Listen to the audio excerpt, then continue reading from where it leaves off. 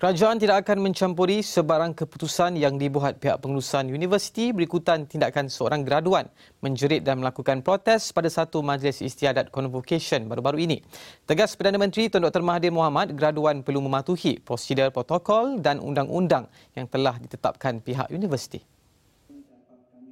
Jika graduan bertindak sebaliknya, katanya ia boleh mencetuskan kekecohan dan insiden di luar jangkaan. Well, we have certain procedures and rules and regulation. We need to follow those rules, otherwise there will be chaos.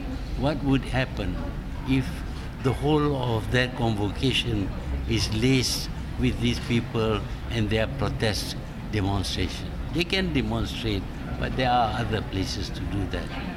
Mula selanjut, Dr. Mahathir berkata, graduan tidak seharusnya mengganggu gugat perjalanan majlis yang dianjurkan pihak universiti. But don't disturb a proper uh, ceremony by trying to show that you have certain views. You can show those views elsewhere.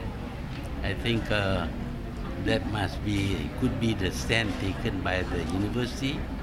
I think uh, we don't interfere too much with the university, they are free to make their own decisions. Pada Isnin, seorang mahasiswa Universiti Malaya UM bertindak berani melakukan protes dan melaungkan slogan menolak kepimpinan Naib Chancellor Universiti itu sejurus selepas menerima scroll ijazah di atas pentas. Tindakan graduan tersebut menerima pelbagai reaksi termasuk menyifatkan ia sebagai perbuatan biadab. Sebagai itu, satu laporan polis telah dibuat oleh Pegawai Keselamatan UM di Balai Polis Pantai kira-kira jam 12.32 tengah hari malam pada Isnin. Warahmatullahi wabarakatuh. Salam sejahtera.